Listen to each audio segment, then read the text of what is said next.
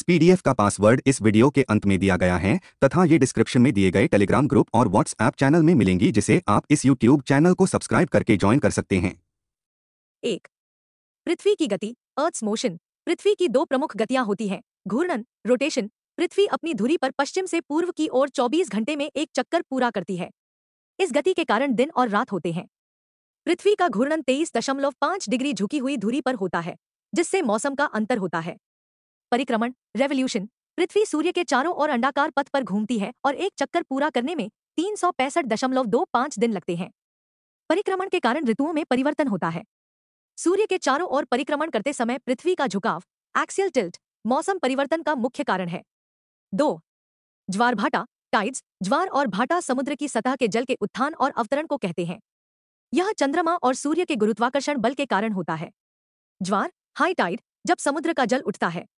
भाटा low tide जब समुद्र का जल गिरता है।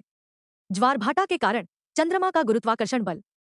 सूर्य का गुरुत्वाकर्षण बल, हालाँकि इसका प्रभाव कम होता है। जब चंद्रमा, सूर्य और पृथ्वी एक सीधी रेखा में होते हैं तो विशाल ज्वार स्प्रिंग टाइड आते हैं, और जब ये तीनों नब्बे डिग्री के कोण पर होते हैं तो न्यूनतम ज्वार नीप टाइड होते हैं।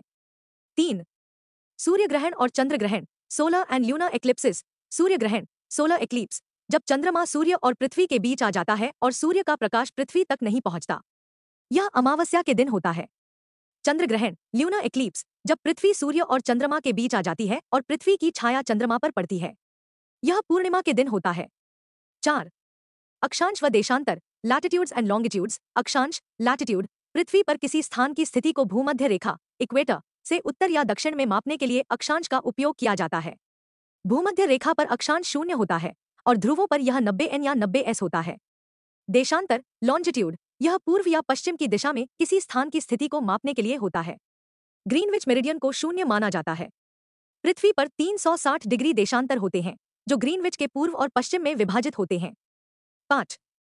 समय गणना टाइम कैलकुलेशन समय की गणना अक्षांश और देशांतर पर आधारित होती है। पृथ्वी 360 डिग्री देशांतर पर फैली होती है और 24 घंटों में एक चक्कर पूरा करती है। आता हर 15 डिग्री देशांतर पर एक घंटे का अंतर होता है। ग्रीनविच मीन टाइम, जीएमटी, यह ग्रीनविच रेखा शून्य देशांतर पर आधारित समय है। इसे मानक समय के रूप में प्रयोग किया जाता है। भारतीय मानक समय, आईएसटी, भारत का मानक समय बयासी दशमलव पाँच डिग्री पूर्व देशांतर पर आधारित है, जो जीएमटी से पाँच घंटे तीस मिनट आगे है। छह अंतर्राष्ट्रीय समय रेखा, इंटरनेशनल डेट लाइन, अंतर्राष्ट्रीय समय रेखा 180 डिग्री देशांतर पर स्थित है। यह रेखा पृथ्वी पर तिथि परिवर्तन के लिए जिम्मेदार है। जब कोई व्यक्ति इस रेखा को पूर्व से पश्चिम की ओर पार करता है तो एक दिन घटा दिया जाता है और पश्चिम से पूर्व की ओर पार करने पर एक दिन जोड़ दिया जाता है। सात। पृथ्वी की आंतरिक संरचना इंटरनल स्ट्रक्चर ऑफ़ अर्थ पृथ्वी की आंतरिक संरचना तीन मुख्य भागों में विभाजित है, भूपतिल क्रस्ट यह पृथ्वी का सबसे ऊपरी ठोस भाग है, जिसकी मोटाई औसतन 35 किलोमीटर है। मृदुत्व मैंटल यह भूपतिल के नीचे का भाग है और लगभग 2900 किलोमीटर तक फैला है। इसमें मैग्मा पाया जाता है। कोर को, यह पृथ्वी का सबसे अंदरूनी भाग है, जो बाहरी कोर तरल और आंतरिक कोर ठोस, में विभाजित होता है। आंतरिक कोर में मुख्यतः लोहा और निकेल होते हैं। आठ, पृथ्वी की चट्टाने रॉक्स ऑफ़ द अर्थ चट्टानों को उनके निर्माण के आधार पर तीन प्रकारों में विभाजित किया जाता है। आग्नेय चट्टाने इग्नियस रॉक्स ये चट्टाने मैग्मा के ठंडा होने से बनती हैं, जैसे ग्रेनाइट और बेसाल्ट। अवसादी चट्टाने, सेडिमेंट्री रॉक्स, ये चट्टाने मिट्टी, रेत और अन्य अवसादों के जमने से बनती हैं, जैसे बलुआ पत्थर और चूना पत्थर। रूपांतरित चट्टाने मेटामोफिक रॉक्स, ये चट्टाने आग्ने या अवसादी चट्टानों के ताप और दबाव के प्रभाव से बदलने पर बनती हैं, जैसे संगमरमर और स्लेट। नौ, भूकंप अर्थक्वेक भूकंप पृथ्वी की सतह के अचानक कंपन को कहते हैं। जो टेक्टोनिक प्लेटों के हिलने, ज्वालामुखीय गतिविधि या मानव गतिविधियों के कारण होता है। रिक्टर पैमाना, भूकंप की तीव्रता को मापने के लिए रिक्टर पैमाना प्रयोग किया जाता है।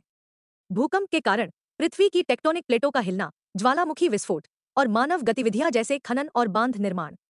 दस, ज्वालामुखी, वॉल्केनोस, ज्वालामुखी वह स्थान है, जहाँ पृथ्वी के आंतरिक भाग से मैग्मा, गैसें और राख पृथ्वी की सतह पर निकलती है। सक्रिय ज्वालामुखी एक्टिव वॉल्केनोस ये ज्वालामुखी समय समय पर विस्फोट करते रहते हैं, जैसे माउंट एटना।